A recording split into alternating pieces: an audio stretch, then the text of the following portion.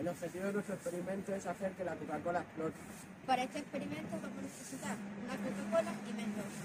El procedimiento consiste en abrir la Coca-Cola e introducir los mentos.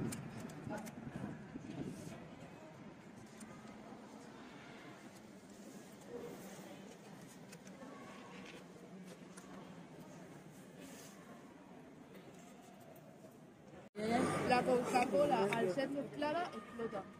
Las conclusiones son que con la existencia de los mentos y el gas de la Coca-Cola provoca esta reacción haciendo que explote.